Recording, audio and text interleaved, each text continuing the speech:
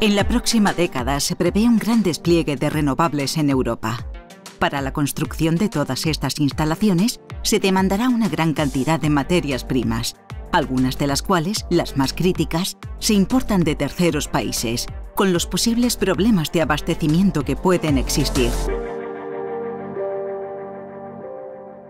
Por otra parte, en los próximos años, muchas instalaciones alcanzarán el fin de su vida útil y habrá que resolver cómo se gestionan sus residuos para que no generen un problema sobre el medio ambiente.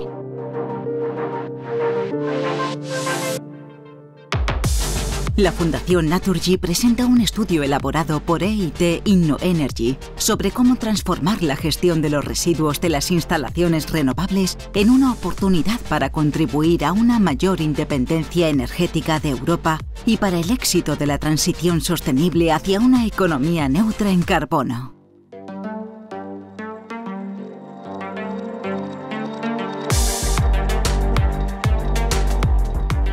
La Asociación Empresarial Solar Power Europe prevé que entre 2020 y 2050 la cantidad de instalaciones al final de su vida útil multiplicará por 16 la ratio de residuos sobre la capacidad renovable instalada. Así, en 2030, por cada 9 millones de toneladas de material destinados a instalaciones nuevas, se acumulará un millón de toneladas de residuos. Y en 2050, hasta 8 millones. Los procesos de reciclaje recuperan hoy alrededor del 80% en peso de un panel de energía solar fotovoltaica, pero la mayoría de los materiales recuperados son los de menor valor económico, mientras que los más críticos se pierden. Es el caso, por ejemplo, de la plata, que representa el 0,5% del volumen de un panel solar, pero supone el 47% de su coste. En la mayoría de los centros de reciclaje se utilizan procesos que son mecánicos rompen el panel y se van mezclando todos los materiales y eso impide que se puedan recuperar materiales críticos que están dentro del panel, que son los que más valor tienen, los que más van a escasear en un futuro y los que de verdad nos interesa recuperar.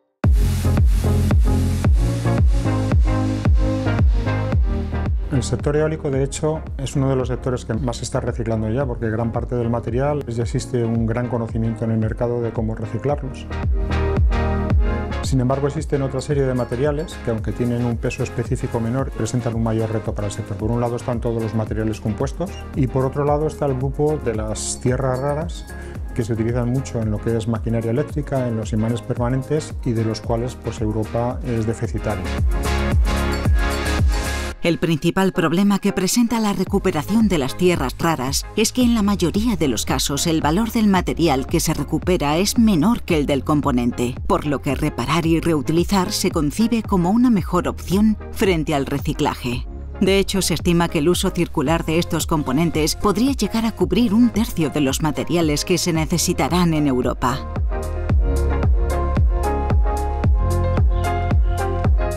El reciclaje es todavía más importante para el almacenamiento de energía. A medida que avance la transición energética, se espera que la demanda desborde la disponibilidad de materias primas provenientes de las extracciones mineras.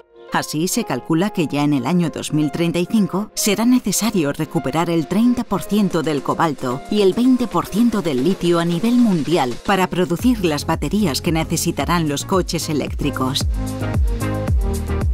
Europa, donde un proyecto de explotación minera tarda entre 5 y 10 años en ponerse en marcha, ha anunciado que legislará directamente sobre este reciclaje. El reciclaje de baterías en este momento es una realidad que podríamos llamar en transformación. Hemos pasado de un modelo antiguo, procesos pirometalúrgicos que no recuperaban el litio, a modelos hidrometalúrgicos que sí que lo recuperan, pero que aún están no en completo desarrollo. Entonces, por un lado tenemos un mercado que crece muchísimo y por otro lado unas tecnologías que se están desarrollando.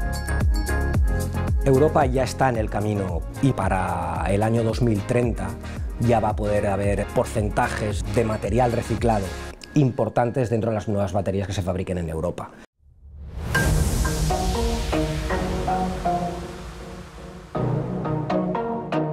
Alcanzar los objetivos de reciclaje requiere de sistemas realistas y eficientes, con modelos de negocio sostenibles más allá de la responsabilidad social corporativa y del obligado cumplimiento reglamentario. A día de hoy, el reciclaje suele estar apoyado porque o bien es más caro que comprar el producto nuevo o porque sus subproductos son técnicamente más pobres y por tanto de menor valor. El reciclaje es algo inevitable. En Europa es más es obligatorio reciclar los paneles fotovoltaicos, pero es verdad que ahora el reto está en definir un modelo de negocio que sea factible. La clave es tener un apoyo de un marco legislativo que, lo permita y que lo fomente. Y luego también hace falta tener unos mecanismos de financiación que permitan montar un reciclaje industrial para poder gestionar esta gran masa de paneles que, que que nos viene ya. La principal diferencia que yo creo que hay en el sector eólico frente a otros sectores es que no solo hablamos de reciclaje, sino también de reutilización con lo cual se presentan otras vías de negocio además de lo que sería simplemente la recuperación de la materia prima. En cambio, para baterías, por un lado, lo que tenemos es que la calidad de los subproductos que salen del proceso de reciclado salen en una calidad que pueden volver a la aplicación original. Y por otro lado, estas materias primas son tremendamente escasas. Entonces, los productores están viendo el reciclaje como una oportunidad.